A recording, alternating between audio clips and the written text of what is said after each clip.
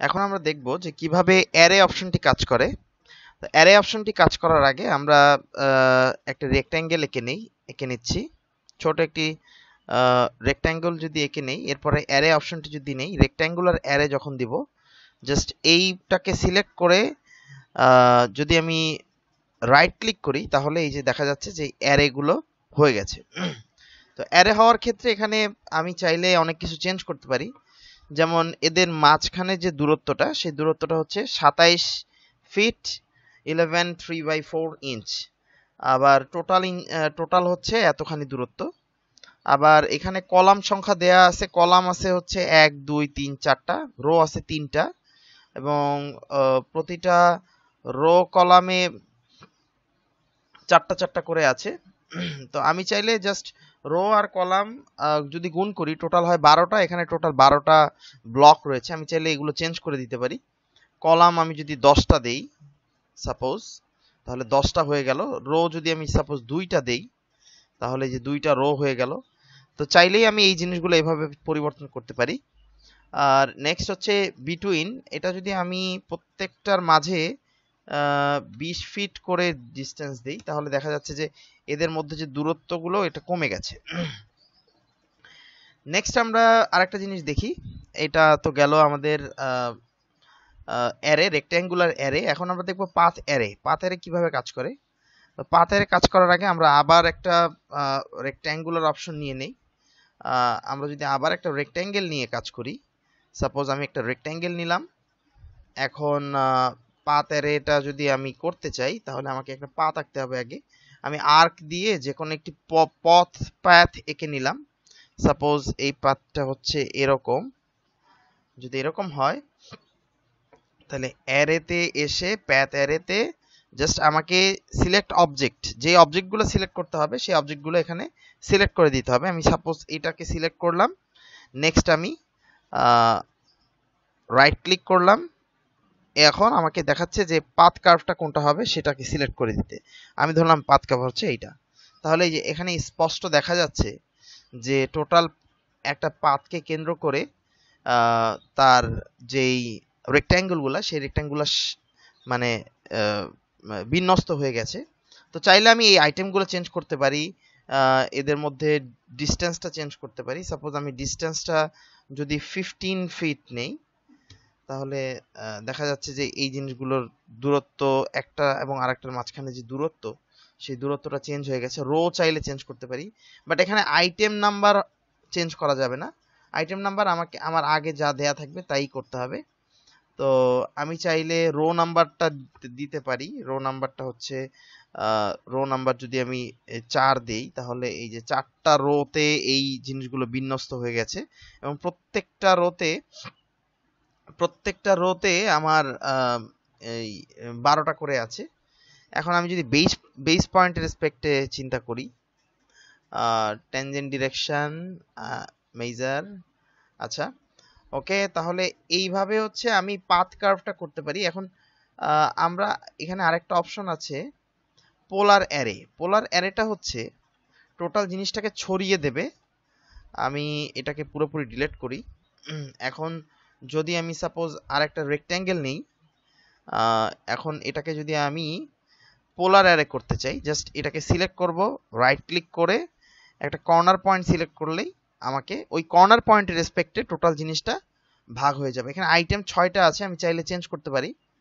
ছয়টার জায়গায় আমি বারোটা আইটেম দিতে পারি, সেক্ষেত্রে তার প্যাটার্নটা এরকম হয়ে যায়।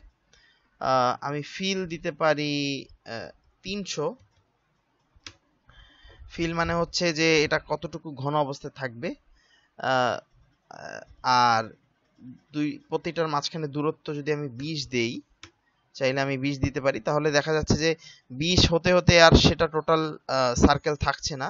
সো সে আগের অবস্থানেই সবচেয়ে ভালো অবস্থায় মানে আগের অবস্থানেই সে টোটাল সার্কেলের মতো করে সে একটা সাথে লেগে থাকতে পারবে। তো এই হচ্ছে আমাদের অ্যারের অপশনটা ছিল। অ্যারেতে আমরা আসলে তিন ধরনের কাজ করি। একটা রেক্ট্যাঙ্গুলার অ্যারে প্যাথ অ্যারে আর একটা হচ্ছে পোলার অ্যারে আমরা এখন একই সাথে চারটি অপশন দেখতে চাই।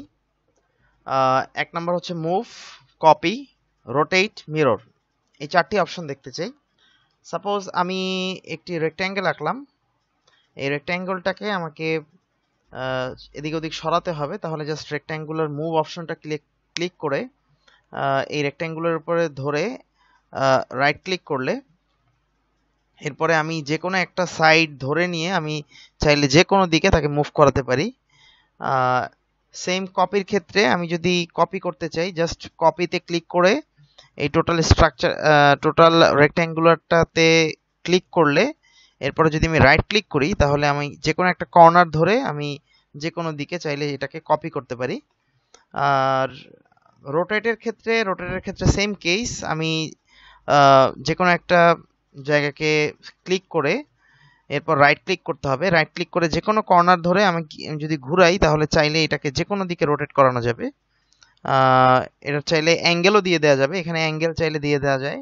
যেমন সাপোজ আমি যদি ফর্টি ফাইভ ডিগ্রি অ্যাঙ্গেল দিতে চাই তাহলে ইজিলি এটা ফর্টি ফাইভ ডিগ্রি অ্যাঙ্গেলে ঘুরে গেল। পাশাপাশি আমি যদি এটাকে আরেকটা অপশন আছে মিরর মিরর অপশন মিরর অপশনটা হচ্ছে যে, এই জিনিসটা জাস্ট উল্টাটা মানে আমি যদি আয়নাতে এই জিনিসটা দেখি তাহলে যেভাবে দেখতে পাবো, সেই জিনিসটা আমি হচ্ছে এখানে করতে পারি। যেমন এই জিনিসটা, এই অপশনটা খুবই কাজের একটা অপশন মিরর দেখা গেছে যে একটা স্ট্রাকচার টোটালটা করতেও হয় না।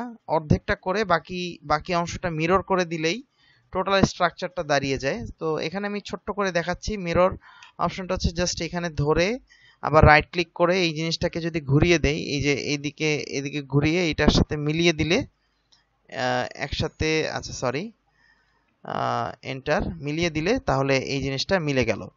আবার এই টোটালটাকে যদি আমি আবার মিরর করতে চাই সাপোজ এই টোটালটাকে ধরে আমি জাস্ট এই এই পার্টটাকে রাইট ক্লিক করে এই পার্টটাকে ধরে আমি জাস্ট এইভাবে ঘুরিয়ে এই যে এভাবে করে দিতে চাই। এরপর যদি আমি এন্টার চাপ দিই তাহলে এটা মিরর হয়ে গেল। এই হচ্ছে আমাদের মুভ রোটেট কপি এবং মিরর অপশনগুলো এই অপশনগুলো আসলে খুবই কাজের অপশন এবং আমরা পরবর্তীতে যে কোনো কাজের ক্ষেত্রে দেখা যাবে যে এই মিরর অপশনটা রোটেট অপশন কপি মুভ এই অপশনগুলো অনেক বেশি বেশি আসছে। এখন আমরা যে অপশনটা দেখাবো, সেটা হচ্ছে অটোক্যাটে কাটাকাটি করার অপশন তো কাটাকাটি করার অপশনটা খুব মজার। কাটাকাটি করার অপশনটার আগে আমি একটা সাপোজ একটা নর্মাল কিছু একটা এঁকে নিচ্ছি, অর্থ অন করে দিয়ে। যদি এঁকে নেই সাপোজ এখানে সার্কেল সার্কেল সার্কেল না সরি আমি প্রথমে আরেকটা লাইন টেনে দিচ্ছি এখান থেকে এই দিকে লাইনটা যদি টেনে দেই, এরপরে আমি একটা আর্ক এঁকে নিচ্ছি। জাস্ট এই পয়েন্টটা এই পয়েন্টটা আর জাস্ট এই পয়েন্টটা সিলেক্ট করে। এখন আর্ক টেনে নিয়ে, এখন আমি যদি এই যে আমার বাড়তি অংশটুকু, এই জিনিসগুলোকে যদি ট্রিম করতে চাই দ্যাট মিনস এই জিনিসগুলোকে যদি সরিয়ে দিতে চাই, তাহলে আমাকে যেটা করতে হবে ট্রিম অপশনে গিয়ে আমাকে প্রথম যে অবজেক্টটা সিলেক্ট করতে হবে, সেই অবজেক্টটা থাকবে হচ্ছে, সেই অবজেক্টটা থেকে কিছুই ডিলেট হবে না।